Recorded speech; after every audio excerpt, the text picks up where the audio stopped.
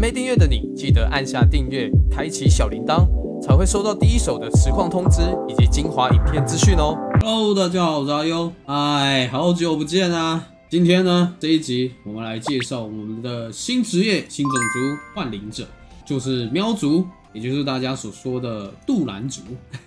那我们的幻灵者呢，总共会有三种方向可以下去走，一个是资源型，一个是法系，第三个就是物理召唤部分，就是一些召唤小鸡啊、白鼠啊、野猪啊下去做伤害堆叠。我们今天所要介绍的流派就是呃物理召唤猫。那物理召唤猫呢，它的走向其实我觉得跟卢恩龙剑有点像，主要就是要面板啊，面板要撑高，要撑力量。唯一不太一样的，卢恩必须还是得去撑暴击啊，但是召唤物理猫是不需要的，它是纯打白字而已。那装备的部分的话，就是以几个方向下去做配置。一个就是物理攻击为主，物理伤害为辅，然后接下来的话就是看体型伤嘛，然后种族伤嘛，再来的话还有一个非常主要的点就是无属性技能加成。我们走物理召唤猫这个流派的话，因为它所有的伤害都是强制无属，这个方向就有点类似像鸟猎，因为鸟猎所出去的也都是强制无属，必须要去堆叠你的无属性技能伤害，你的伤害才会再往上拉高。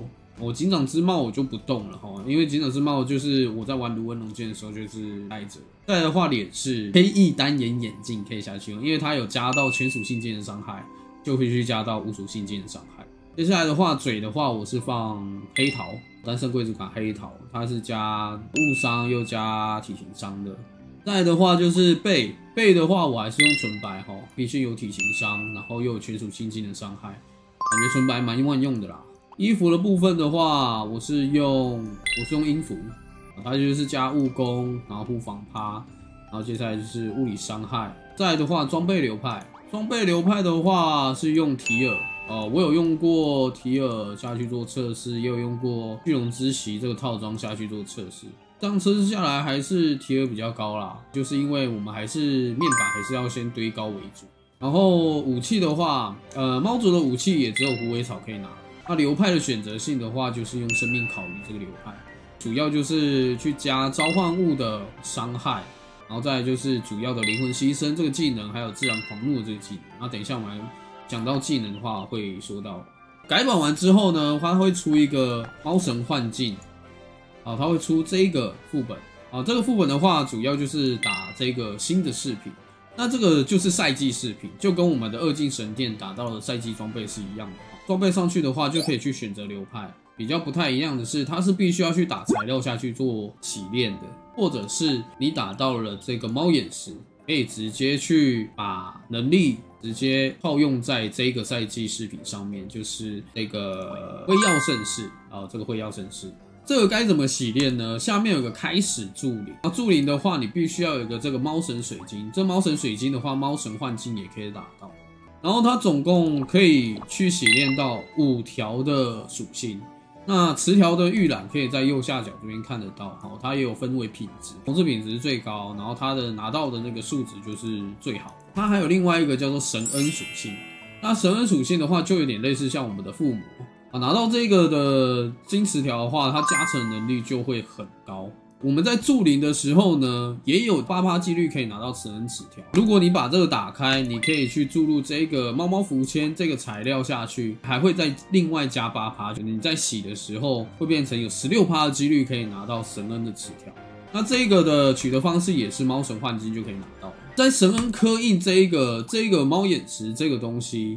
呃，它必须去猫神幻境里面打这个猫眼石碎片，然后这边有写到哦，猫神幻境啊，这边再可以拿去做合成，合成一次是十五颗，然后它是拿到随机的，拿到红色你开到的就是红色阶级的属性，它直接这边刻印消耗直接花日币一万就可以拿去做鉴定，你就可以知道说你拿到是什么样的能力。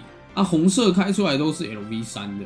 那金色的话都是 LV 二，不管是在猫眼石这一块，或者是助灵属性这里，全部的材料都是可以从猫神幻境拿到。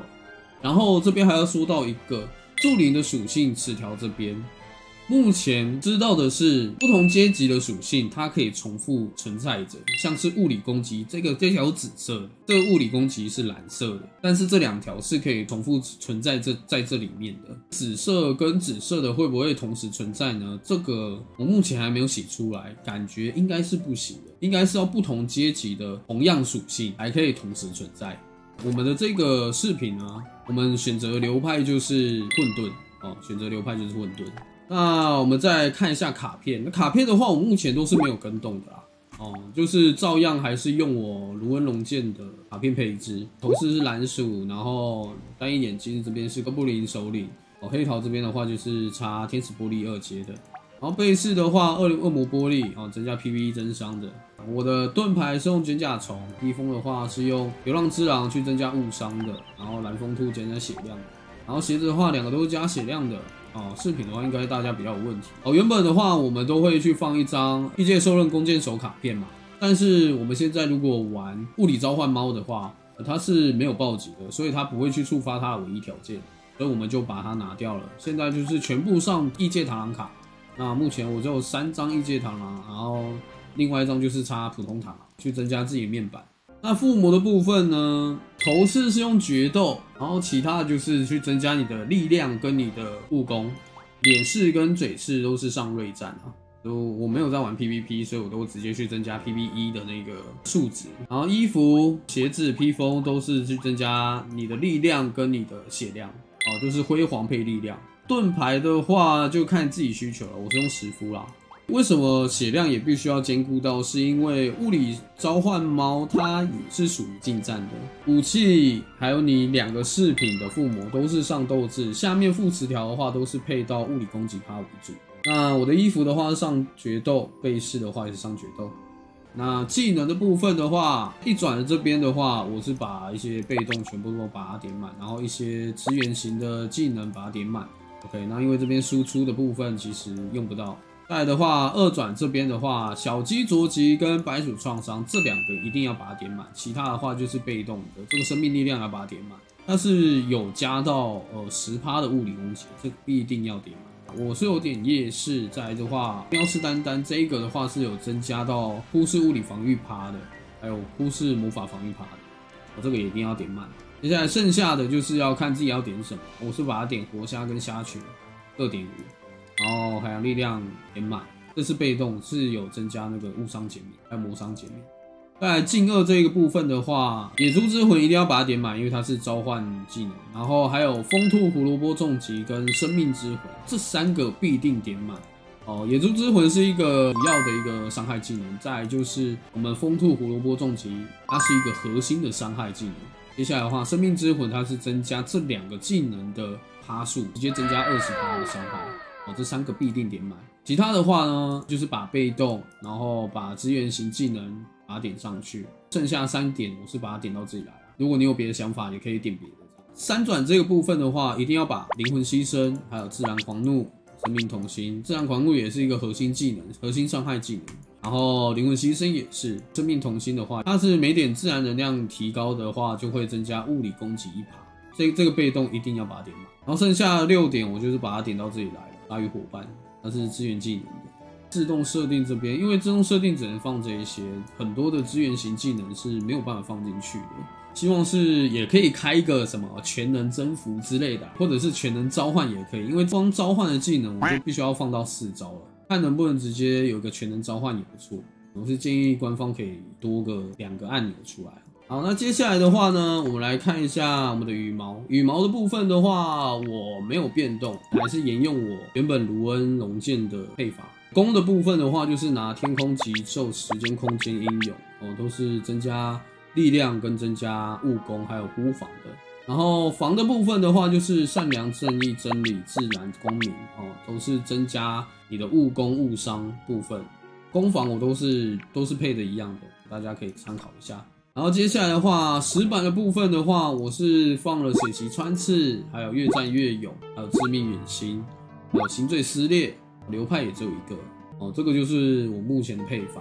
关心这个部分的话呢，我们这个图腾一定要选幻灵者生命哦，它是有去加到你的物理攻击、物理伤害跟无属性技能伤害，全部都是加成到你的召唤物的伤害。再来就是我们来看一下元能矩阵的部分哈，元能矩阵的部分，我们职业技能主要就是两个：自然之怒跟高洁灵魂这两个。它加的都是召唤物的伤害跟你的灵魂牺牲，这两个一定一定要拿到。然后像上面的这一个矩阵的这个能力值呢，近战伤害跟面板伤害，然后护防这样子。然后我们来看一下齿轮的选择。那齿轮选择的话，核心主要有三个：巨力风兔，还有魔力波长逆转，还有个血流不止。对流血状态敌人伤害提高十趴。白鼠的那个召唤物技能，它是会有几率造成对方流血状态，你就可以再额外再提高十趴的伤害上去。哦，这三个是核心能力。接下来的话就是生命力量先拿，接下来的话就是暴怒野猪，再才是灵活小鸡。物理召唤猫的话，它是近战，为什么是近战呢？来，我们来直接看一下实战就知道了。自动这边设定这边，我是放自然狂怒、风兔胡萝卜重击，还有小鸡啄击、白鼠创伤、野猪之魂，还有灵魂牺牲这六个技能哦，不放普攻，技能技能格太少。哦，站远的时候给你们看一下它的释放。它在三招小招的，像小鸡、白鼠跟野猪之魂这三招小招的技能的时候，这三只招出来都会在你的目标物的底下出现。但是你的自然狂怒这三只，呃，野猪王跟小鸡王还有白鼠王，它是直接出现在你人物底下的。所以如果你站得远，然后你放释放自然狂怒，它它们三只就必须要从你脚下走到你目标物那边。它走过去的这个时间点，它就没有办法去造成怪物的伤害。它存在也只有七秒而已，所以你必须要走到要打的那只怪的旁边，造成的秒伤才会够高。这个也意味着你也不能太软。所以为什么要去增加你的体质跟血量，就是这个样子。它是属于近战的流派，我自己目前这样测下来，测了两天左右。原本是玩卢恩龙剑嘛，卢恩龙剑我在测秒伤的时候，差不多在一亿二到一亿三左右。但是物理召唤猫测出来的秒伤是一亿七左右，大家可以参考一下。那我觉得物理召唤猫是可以玩，只是说玩起来的方式是不太一样的。一个就是攻速暴击附加伤害为主的卢恩龙剑流。物理召唤猫就是光靠就是召唤物的伤害，再加上风兔胡萝卜重击，哦，这一个伤害是最高的。那我们今天介绍物理召唤猫这个流派，那今天就介绍到这边。然后如果大家有什么样的问题，或者是你觉得我哪边有讲的不太对，或哪边需要做调整的话，啊，大家可以在下面留言给我。OK，我是阿优，那我们下次见，拜拜。